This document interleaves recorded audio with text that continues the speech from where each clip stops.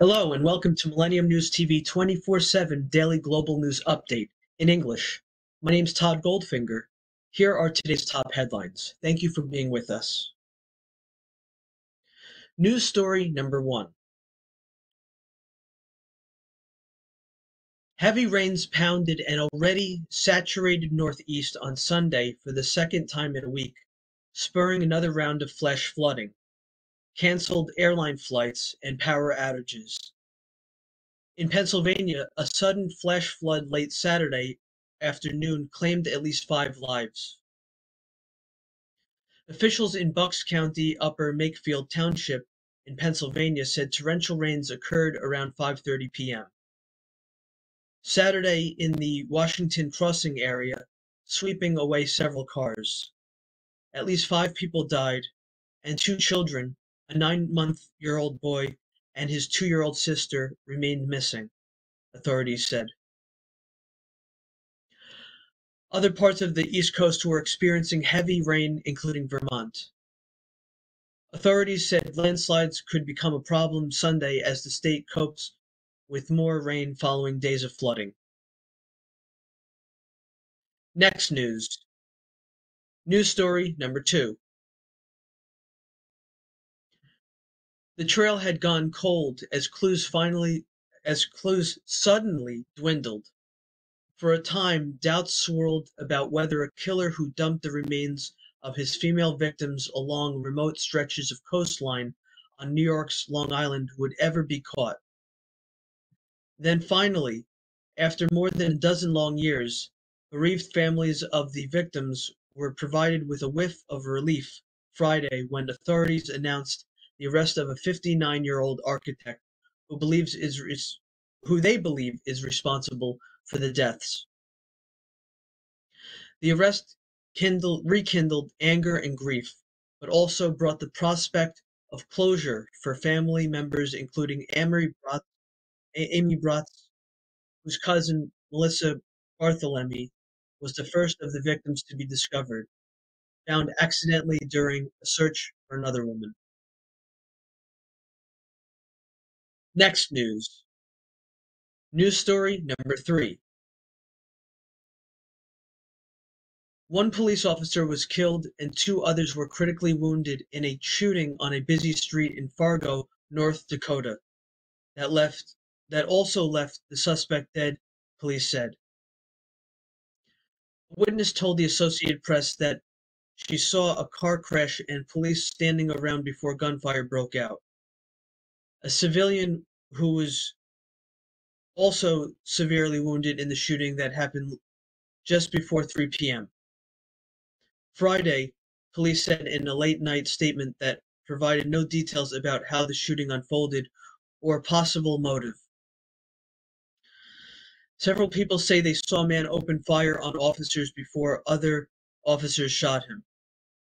Chenoa Peterson told the Associated Press that she saw a car crash and police standing around as she was driving with her 22 year old daughter. Then a man pulled out a gun and began firing at police. In quotes. He proceeds to aim it, and you just hear bullets go off, and I'm like, oh my god, he's shooting. End quotes. Next news. News story number four. Five people leaving a cemetery after a funeral were shot and wounded Friday by someone firing into their car from a second vehicle in a Maryland suburb of the nation's capital, police said. No arrests were immediately made, and the five victims were all taken to area hospitals as authorities pleaded for the help of passing motorists in identifying suspects in the brazen daylight attack in busy traffic. The shooting site is near a bridge that crosses the Anacostia River in Bladensburg, about a mile (0.6 kilometers) east of the Maryland border with Washington, D.C. Next news. News story number five. He's been indicted twice, found liable for sexual abuse, and is viewed unfavorably by about third of his party.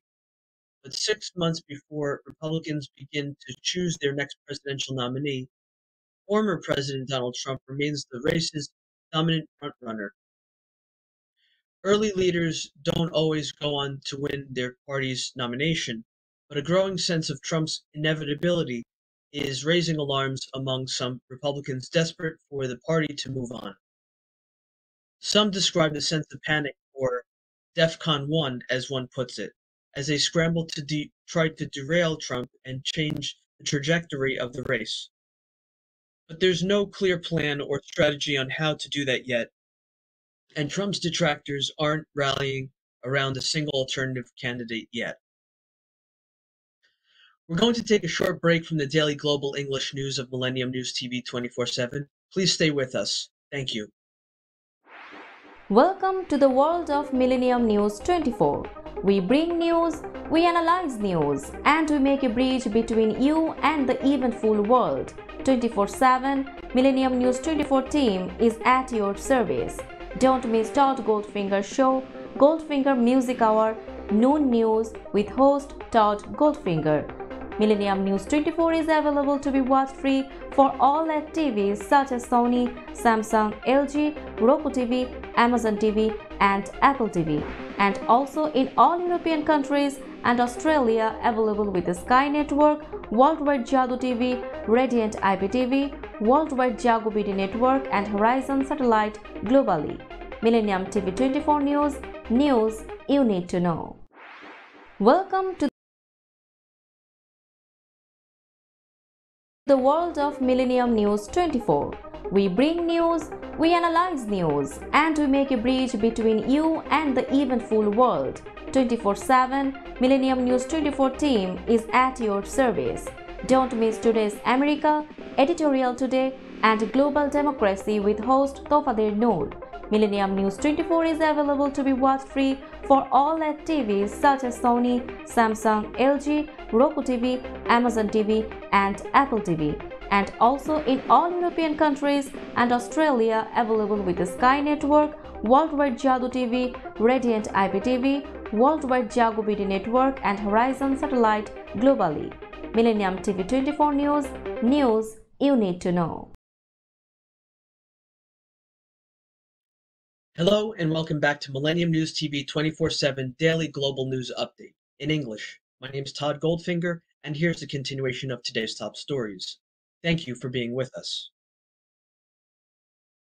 News story number six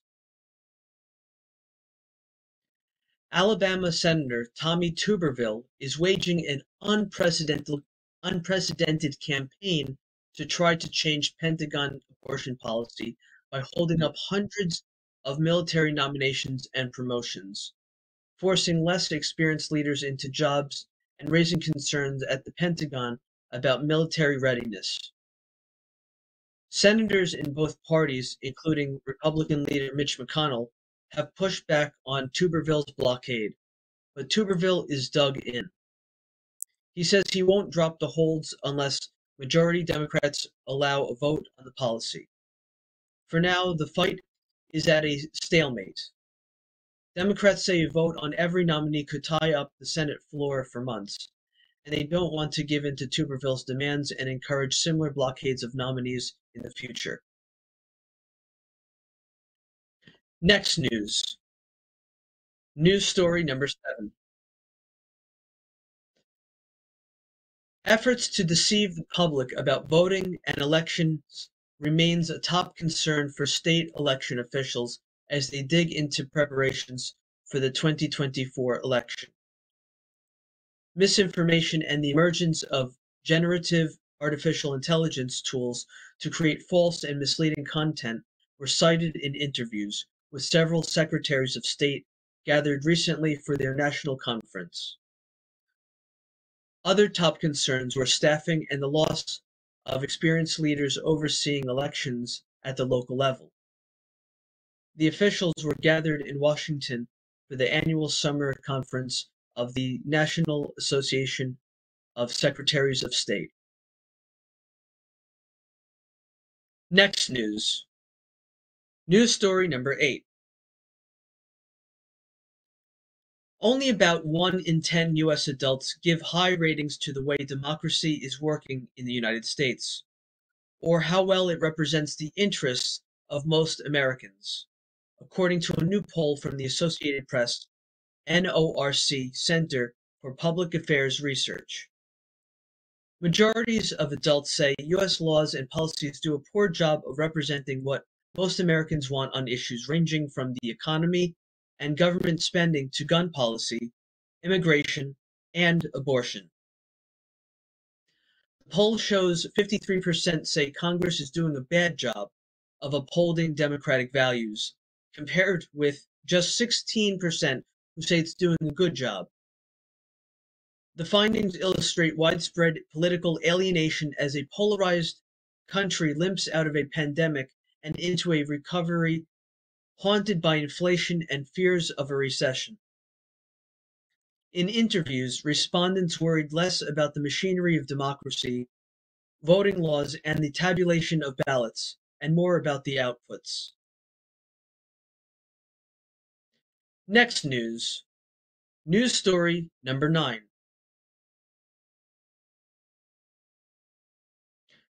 The chair of the Federal Trade Commission defended her aggressive legal strategy towards the country's biggest technolo- technology companies Thursday as House Republicans charged that the agency has become overzealous and politicized under President Joe Biden.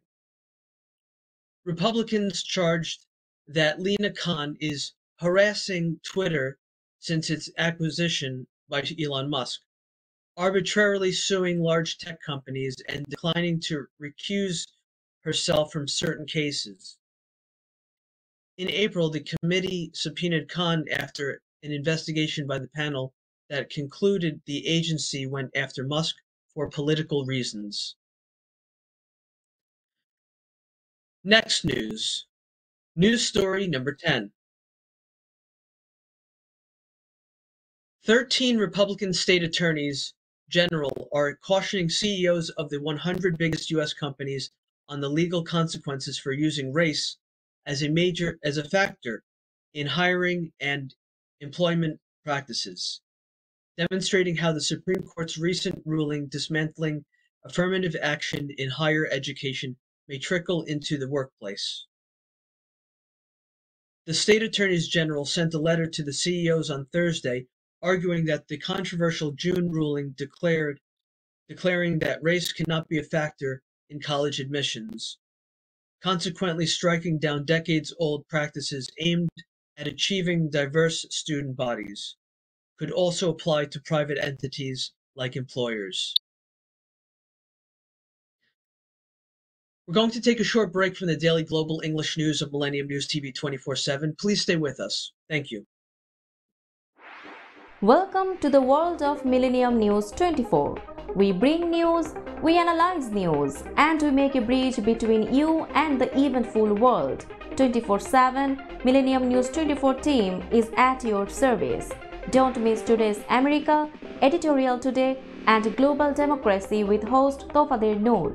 Millennium News 24 is available to be watched free for all LED TVs such as Sony, Samsung, LG, Roku TV, Amazon TV, and Apple TV, and also in all European countries and Australia available with the Sky Network, Worldwide Jadoo TV, Radiant IPTV, Worldwide Jago BD Network, and Horizon Satellite globally. Millennium TV 24 News, news you need to know.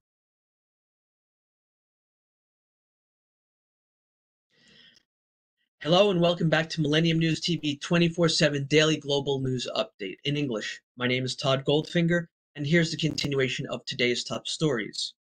Thank you for being with us. News story number 11. Two senior members of the only major functioning opposition party in Cambodia have been arrested for allegedly teaching voters how to cast a spoiled ballot in this month's general election. The party and a government spokesperson said Saturday. They are the first people to be arrested under the country's recently amended election law. It penalizes politicians who encourage election boycotts in a country where the party of Prime Minister Hun Sen, who has been in power for 38 years, is running virtually unopposed.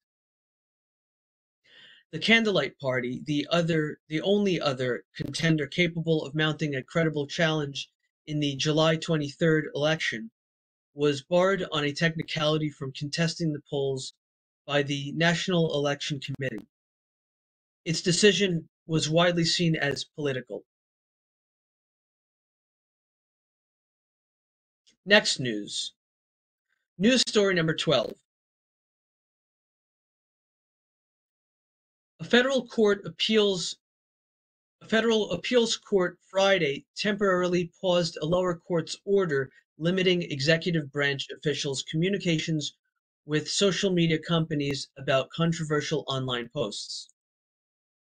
The President Biden administration lawyers had asked the Fifth U.S. Circuit Court of Appeals in New Orleans to stay the preliminary injunction issued on July 4th by U.S. District Judge Terry Doughty. Doughty himself had rejected a request to put his order on hold pending appeal. Friday's brief Fifth Circuit order put Doughty's injunction, injunction on hold, in quotes, until further orders of the court, end quotes. It called for arguments in the case to be scheduled on an expedited basis. Next news. News story number 13. A 20 year old woman has been arrested on federal narcotics charges and is accused of selling the drugs that led to the death of actor Robert De Niro's 19 year old grandson. A law enforcement official said Friday. The woman, Sophia Haley Marks, appeared in Manhattan federal court on Friday and agreed to remain behind bars until she requests bail at a later date. Prosecutors said they would oppose a request for her release. Marks was arrested Thursday evening on three counts of narcotics distribution stemming from the sale of drugs to Leandro De Niro Rodriguez, the law enforcement official said. The official was not authorized to discuss details of the investigation publicly and spoke to the Associated Press on the condition of anonymity. Next news.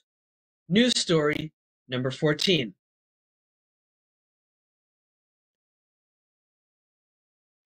Non English language music, uh, the future of the music business? Perhaps. The global music industry surpassed 1 trillion streams at the fastest pace ever in a calendar year, Luminate's 2023 mid-year report has found. The number was reached in three months, a full month faster than 2022. Global streams are also made up of 30.8% from last year, reflective on an increasingly international music marketplace. Next news. News story number 15. Kate, the Princess of Wales was back in the royal box at Wimbledon on Saturday for the women's final, along with several former champions and some stars of the entertainment world. The princess, wearing a pale green outfit, later presented the trophy to Marketa Vondrousova after the 24-year-old left-hander from the Czech Republic beat Ons Jabeur of Tunisia 6 to 4 6 to 4 in the final on center court. Former champions Billie Jean King, Martina Navratilova, Ann Jones, Marion Bartoli, and Conchita Martinez were also in the royal box, along with Academy Award winning actor Maggie Smith, Priyanka Chopra, and Lin-Manuel Miranda. This has been the daily global English news update of Millennium News TV 24 7. Thank you for watching. My name is Todd David Goldfinger. Please log in to get the latest news on all of our social networking sites. That means Facebook, Twitter, Instagram. On TikTok, we are Millennium News 24. Also, our YouTube channel is News Channel M24. Viewers, now on both network broadcasting, Android and iOS devices, Apple TV, Roku TV, Amazon Fire TV, also all smart TV platforms. Please enjoy our entertainment and latest news and views and editorials. Our Millennium TV apps, Millennium TV USA Android, Millennium News Google, www.millenniumtv24.com. Please stay with Millennium News 24 7.